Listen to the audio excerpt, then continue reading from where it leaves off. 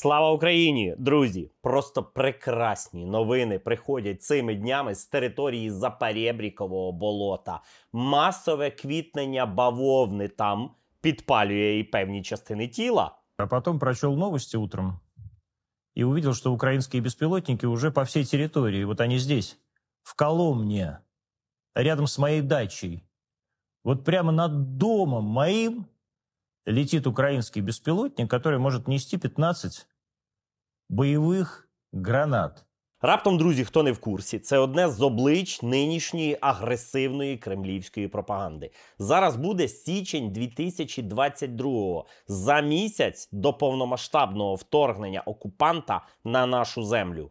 Украина и Грузия вступят в НАТО при нем же. Нет, Есть. нет, Есть. нет, мы введем войска в Украину. Это наша земля. Это вот Тоді пропагандисту Антону було комфортно, впевнено і з легендою про так звану Другу армію світу. А зараз Антоші чомусь бачите тривожно. И сбросить эти боевые гранаты на мой дом и дом моих соседей.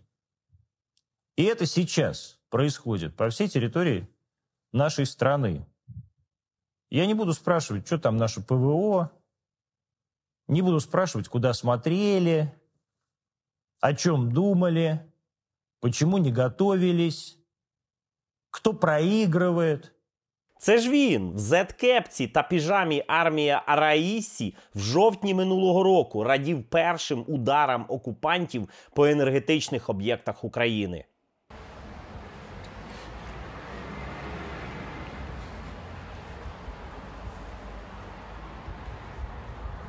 А тепер Антошенька якось приунил. Антоша, ти що не знав, що це така спецоперація? Вона так і має тривати. Так все задумано, так все по плану.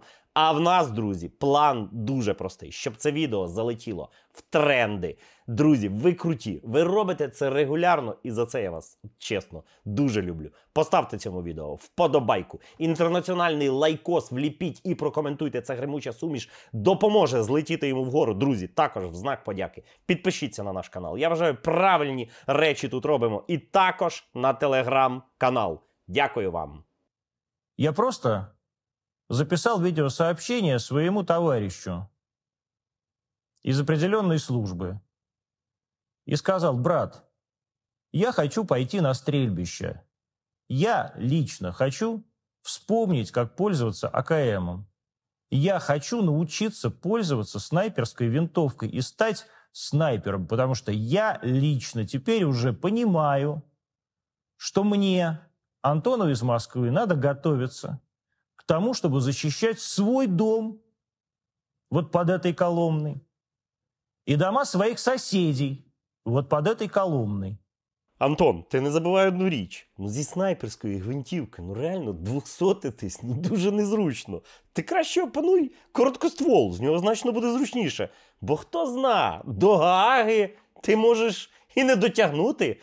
Київ за три дні ти вже побачив, в параді на Хрещатику ти вже взяв участь. Ну, в своїх, зрозуміло, вологих фантазіях. И вот тогда наш парад пройдет на Крещатике. Поверьте в это. Уверуйте в это. Присоединитесь к этому нашему общему делу, и будет этот парад. Он будет, будет, будет. И тысячи русских каблуков взорвутся на старой императорской брусчатке Андреевского спуска, и вернется Киев, и снова станет матерью городов русских. Антош, давай ми якось визначимося. Ти Київ за три дні береш, чи ти Коломну під Москвою за три дні захищаєш? А, я зрозумів, Антоша. Ти просто береш. Ну, як і друга армія світу. Ну так би зразу і сказав. Ну чого тут соромитися? Потому что завтра черт знает, что может произойти.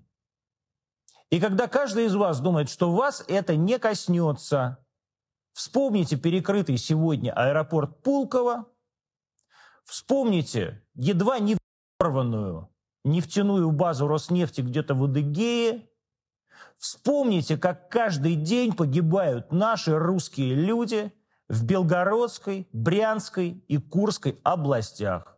А ми, друзі, завжди маємо згадувати і дякувати тим людям, завдяки яким такі андони отак приємно ниють для нашого вуха. Це нашим героям, друзі, які захищають нас просто зараз. Друзі, по можливості підтримайте їх. Ці люди, яких я знаю персонально, і один з бійців звертається до вас і дякує саме вам. Привіт, друзі! Мене звати Артем. Я думаю, можливо, хтось з вас згадає мене по старим випускам «Зупини лося», де ми з Константином боролися з порушниками порядку в нашому славному місті Київ. У мене велика вдячність вам всім за допомогу особисто мені, моїй групі, моїм медикам та взагалі е, українському війську.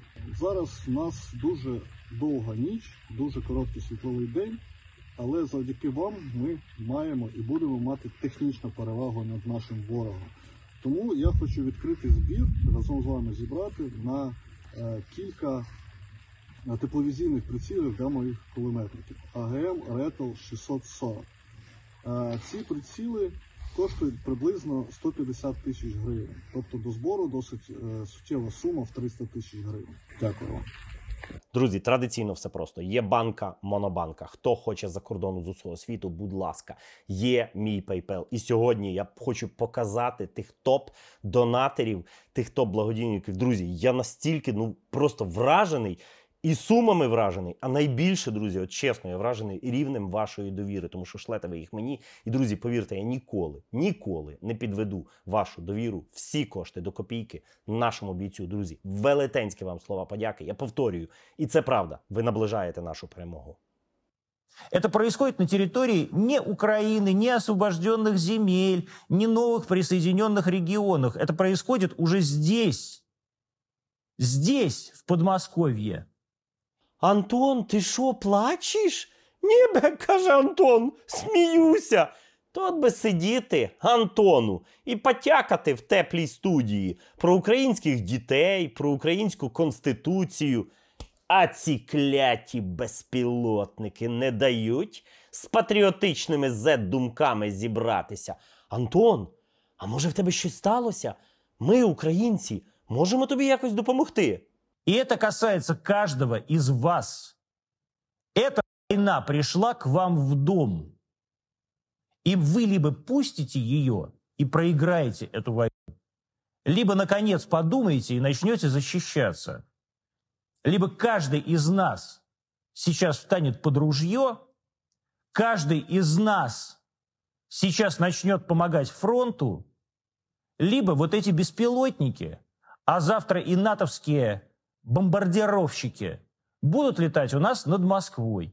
Так що, Антон, отодвинули НАТО з українськими дітьми, бачу, якось не склалося. А тепер нове завдання родину захищать. Так покажи приклад. В ПВК Пригожина там на тебе чекають, там таких, як ти, очікують з розпростертими обіймами, а безпілотники і далі будуть літати. Експерти твого кореша Соловйова не дадуть збрехати. размеры нашего государства, они э, такие, что всегда найдется лазейка, по которой может какой-то беспилотник пролететь. В принципе, они примерно знают, где наши средства ПВО находятся, и запустить беспилотник по маршруту, чтобы он прошел, с- огибая не только рельеф, но и обходя эти самые районы противовоздушной обороны, в принципе, вполне возможно. Тому, Антон, чекаємо наступне твоє відео з точною адресою твого дома в Коломні. І адресу сусідів також можеш вказати. Там люди від залужного хочуть вам посилку дуже цінну доправити. Бо ми, українці, нічого не забули. Антон. А плевать. Это, это наша русская земля. Это никакая Украина там ничего не решит. А город Лемберг тоже наш русский? В смысле, город Львов? Да. Город Львов, названный в честь сына русского князя Даниила Галицкого Льва? Тогда они побегут от тебя в НАТО просто. нет, вот нет, нет. Они побегут. все побегут к нам, поверьте мне. Украинцы, welcome home. Друзі, ви щойно прослухали дуже повчальну та сучасну болотяну казку про Антошку, який наклав цегли в штани. Німножка. Ти зберися, Антоша. Ти витри зволожені очі, бо виглядаєш ти як якийсь, чесно, використаний Антон. Я лично этого не хочу. Поэтому я лично вот сейчас после этой программы поеду в ТИР, чего и вам всем желаю. they